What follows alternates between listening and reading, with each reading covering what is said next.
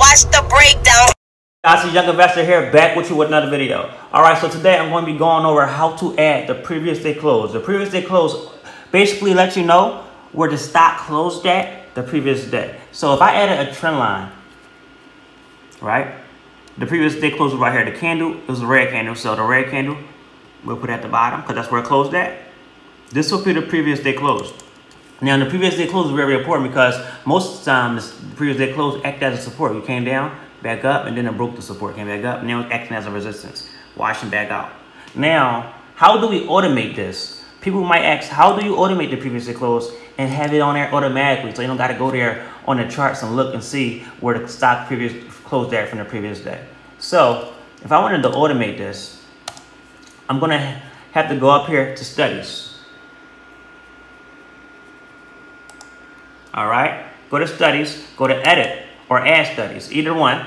You go right here to create. You got to go to create.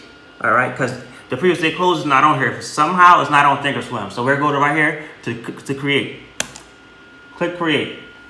All right, in the link, I'm going to have, in the link, in the description, I'm going to have the code for you to enter this. So I'm going to insert the code, one second. I'm going to insert the code into this to show you guys how to add it. All right, here's the code. I just had to copy it.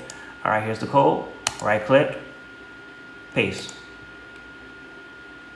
So now I have the previous day close um, code down here, basically. And now I'm going to go up here and name it.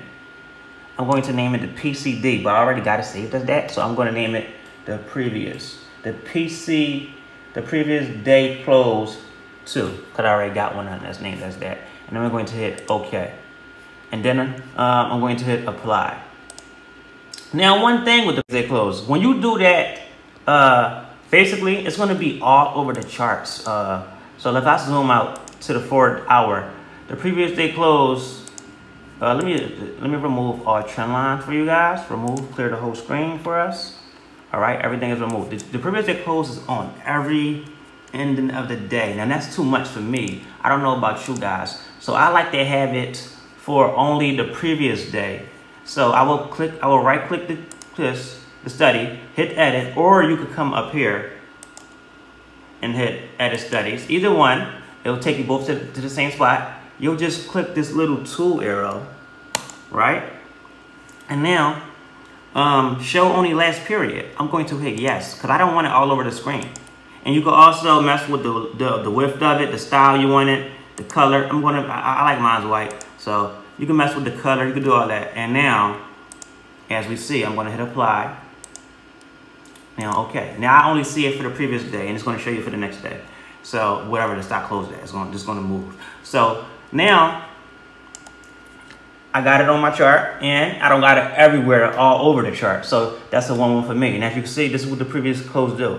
It act as a support or resistance, come back up, act as a resistance, washed out. That's how you could use it. It's a real good study. I'm gonna make another video on it, basically going more in depth on how to use it.